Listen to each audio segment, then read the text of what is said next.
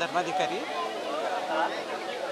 कशा प्रकारचं योगदान त्यांचं राहिलेलं आहे आणि काय त्याच्यात तुमचा वाटा होता? माझ्या लग्नानंतर झालं पण त्यांच्या बोलण्यातून किंवा त्यांच्या आईच्या बोलण्यातून आणि रामगोपाळ नावंदर काशीनाथ नावंदर वगैरे त्यांच्यासोबत होते.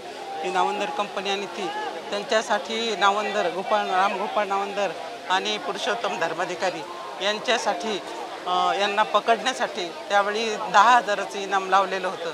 असं यांच्या बोलण्यातून नेहमी यायचं. आणि दोघंजणं ते लपून छपून जैनपूर कॅम्पमध्ये राहायचे.